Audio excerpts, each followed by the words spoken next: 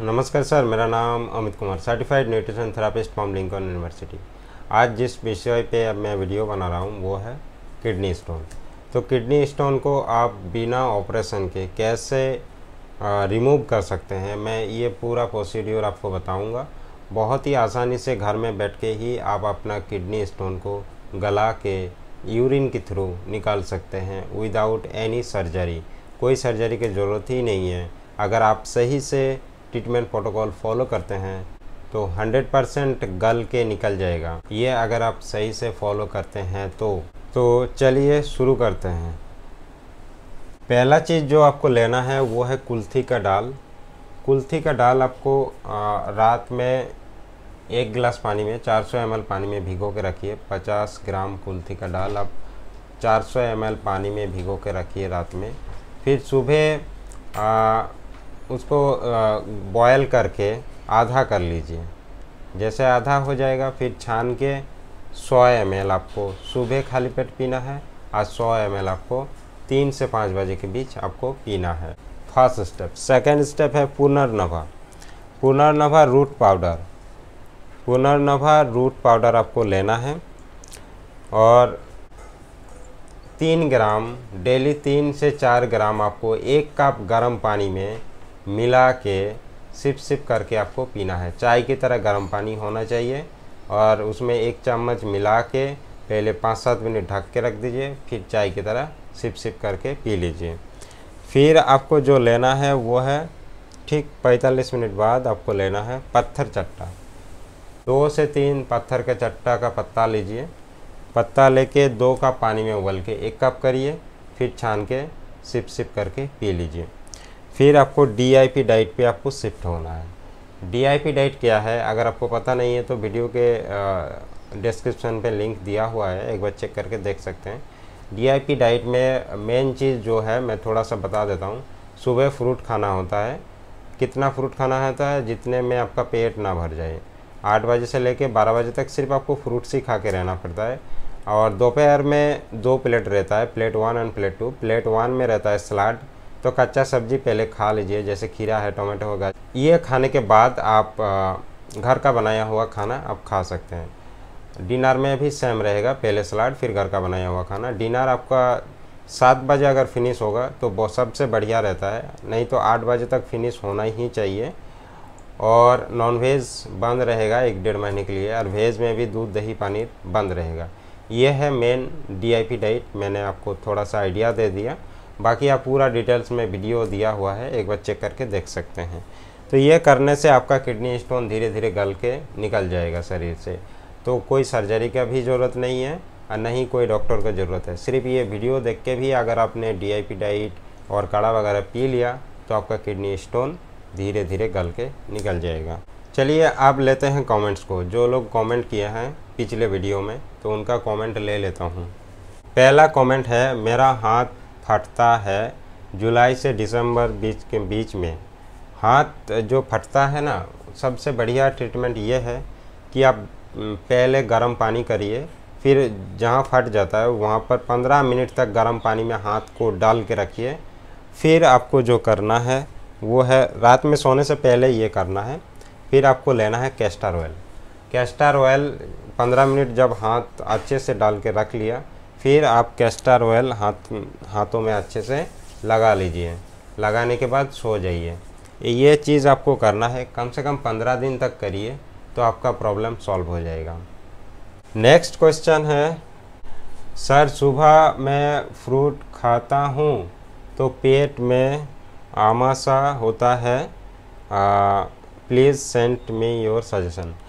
देखिए, आप फ्रूट खाते हैं तो आपका पेट थोड़ा सा गड़बड़ा जाता है तो इसके लिए सबसे बढ़िया ट्रीटमेंट ये है कि आप सुबह एक काढ़ा पी लीजिए। काढ़ा में रहेगा एक चम्मच धनिया, एक चम्मच सौंफ, एक चम्मच जीरा, दो कप पानी में उबल के एक कप करिए और छान के सिप सिप करके पी लीजिए। सुबह ये काढ़ा पीने के बाद आप डी आई पी डाइट जो फ्रूट खाते हैं सुबह, वो फ्रूट आप खा सकते हैं तो आपका जो ये प्रॉब्लम है, ये नहीं होगा। नेक्स्ट क्वेश्चन है, अमित भैया, सुबह पेट साफ़ नहीं होता है, कुछ भी बाहर का खाना नहीं खाता हूँ डीआईपी डाइट भी लेता हूँ। फिर भी उनका पेट सुबह साफ़ नहीं होता है। तो पेट देखिए, सबसे बढ़िया ये है जब आप डीआईपी डाइट कर रहे हैं तो रात में आप एक काम करिए, त्रिफला पाउडर त्रिफला पाउडर आप लीजिए और रात में सोने से पहले एक कप गर्म पानी में एक चम्मच त्रिफला पाउडर मिला के सिप सिप करके पी लीजिए फिर आप सुबह देखिए पेट साफ़ हो जाएगा।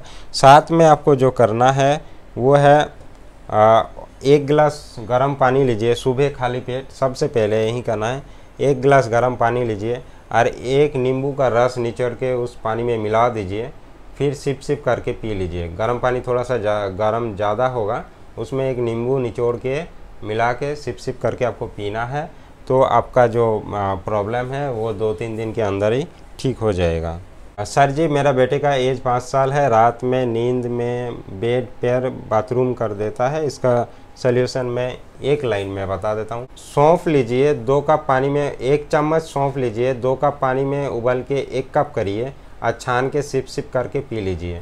बस ये करने से ही, पहले दिन से ही उनका बेड में जो पेशाब होता है, वो रुक जाएगा।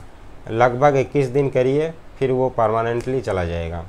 नेक्स्ट क्वेश्चन है लो बीपी के बारे में भी बताओ सर प्लीज़ लो बीपी अगर किसी को है, पहले आपको ये चेक करना है कि लो बीपी में आपको कोई दिक्कत हो रहा है, चक्कर वगैरह आ रहा है, कोई भी डिस्कम्फर्ट हो रहा है तो आपका लो बीपी माना जाएगा। ये नहीं कि आंकड़े के देख के मैंने ट्रीटमेंट बता दिया, फिर बीपी थोड़ा सा नॉर्मल हो गया। नॉर्मल मतलब one one hundred twenty by eighty यही सब मानते हैं कि यही नॉर्मल है, यही बीपी रहना चाहिए। किसी का बीपी एक जैसा नहीं होता है, सबका बीपी अलग अलग होता है। किसी का जैसा हाइट एक जैसा नहीं होता है। मैं मान के चलूँ कि छः फुट वाला ही सही हाइट है, जो पाँच फुट है, उसको ठोंक के बड़ा करो, और जो सात फुट है, उसको ठोंक के छोटा करो, ऐसा नहीं हो सकता। सबका हाइट अलग है, सबका बीपी अलग है। तो आप ये देखिए कि आप उस बीपी में आपका कोई भी डिस्कम्फर्ट हो रहा है या नहीं हो रहा है, अगर हो रहा है तो बढ़ाने की ज़रूरत है। अगर नहीं हो रहा है तो कोई कुछ भी मत करिए, जो है, जैसा है, वैसे ही रहने दीजिए। ठीक है, जैसे मेरा बीपी लो रहता है हमेशा, मेरा बीपी रहता है 115 15 पंद्रह वाई सेवेंटी फाइव तो मेरा ये बीपी रहता है तो मुझे कोई डिस्कम्फर्ट नहीं है। तो मैं बी बीपी को बढ़ाने का कोशिश भी नहीं करता हूँ। अगर मैं कोशिश करूँ तो दिक्कत है। तो अगर आपका बीपी सच में कम है तो आपको जो करना है वो है गुड़ लेना है। गुड़ को मुँह में रख के चूसना है सुबह खाली पेट और आपको कॉफ़ी पीना है, ब्लैक कॉफ़ी मतलब रॉ कॉफ़ी पीना है। रॉ कॉफ़ी एक कप गर्म पानी में एक चम्मच मिला के आपको सिप सिप करके पीना है तो आपका बीपी स्टैंड बढ़ जाएगा। अगर लो बीपी हुआ है तो सच में, अगर नहीं हुआ है, अगर लगातार ये बीपी आपका रहता है, आपको कोई डिस्कम्फर्ट नहीं है तो मत करिए ये सब, ठीक है? नेक्स्ट क्वेश्चन ये है, सर, मेरा पापा जी को उम्र सेवेंटी फोर है साइटिका का प्रॉब्लम हो गया है, कमर के नीचे बहुत दर्द होता है। उपचार बताइए। देखिए साइटिका का दर्द के लिए एक एक्सरसाइज होता है वो एक्सरसाइज अगर कर लिया तो दो तीन दिन के अंदर ही साइटिका का दर्द ठीक हो सकता है। साइटिका का दर्द इसलिए होता है एल फाइव एस वन के बीच में एक नास दब जाता है, जिसके वजह से पूरा कमर से लेके पैर के नीचे तक दर्द रहता है, खिंचाव जैसा दर्द रहता है। तो वो नास को खोलना है, जैसे ही खुल जाएगा, जहाँ उसमें ब्लड सर्कुलेशन जैसे ही शुरू हो जाएगा तो तुरंत उनका जो प्रॉब्लम है साइटिका का जो दर्द है, वो रिलीफ होना शुरू हो जाएगा। तो उसके लिए एक एक्सरसाइज है, जो मैं एक शॉर्ट वीडियो में बताऊँगा। तो आप लगे रहिए, मैं साइटिका का दर्द के पेन के बारे में बताऊँगा। ठीक है? कल रात में एक फ़ोन आया था तो एक को ब्रीदिंग ब्रीदिंग प्रॉब्लम हो रहा था, सांस अटक गया था। तो उस सिचुएशन में लोग हॉस्पिटल की तरफ़ भागते हैं। तो ये बहुत ही आसान टेक्निक है। अगर ये टेक्निक अगर फॉलो कर लिया तो उसमें जल्द से जल्द उनको रिलीफ मिलना शुरू हो जाएगा। टेक्निक सिर्फ़ आपको ये होगा कि किसी का अगर सांस अटक गया, किसी को सांस लेने में बहुत ज़्यादा दिक्कत हो रहा है तो ये करिए कि उनको चेयर में बिठाइए, बिठा के सामने की तरफ़ थोड़ा सा टील कर दीजिए, ऐसा करके टील करके रखिए। मैं अदरक डाल दीजिए। चबाते रहना है तो और सामने एक फ़ैन फ़ैन रख दीजिए, छोटा वाला हो, बड़ा हो, फ़ैन रख दीजिए। और मुँह में एक अदरक डाल दीजिए तब तक चबाना है, जब तक उनका आँखों से आँसू ना आ जाए, तब तक वो चबाना है। तो ये करने से उनका जो सांस लेने में दिक्कत हो रहा है, बीपी बहुत ज़्यादा फ्लैक्चुएट कर रहा था हार्ट बीट बढ़ गया था तो ये आप कर सकते हैं। अगर बहुत ज़्यादा हार्ट बीट बढ़ जाता है तो थोड़ा सा खून निकालना है, किसी भी उंगली से थोड़ा सा सुई डाल के खून निकालना है तो उसी वक्त जो हार्ट बीट बढ़ गया था तो धीरे धीरे धीरे कम होना शुरू हो जाएगा। थोड़ा सा ही निकालना है, एक, दो बूंद। तो ये आप कर सकते हैं। और अगर बहुत ज़्यादा सांस लेने में दिक्कत है तो उंगली का जो ये है पार्ट ये थोड़ा सा दबाना है, ऐसे ऐसे करके। तो सांस ले, उनका जो सांस अटक जाता है, वो धीरे धीरे सांस आना शुरू हो जाएगा। तो ये आप कर सकते हैं।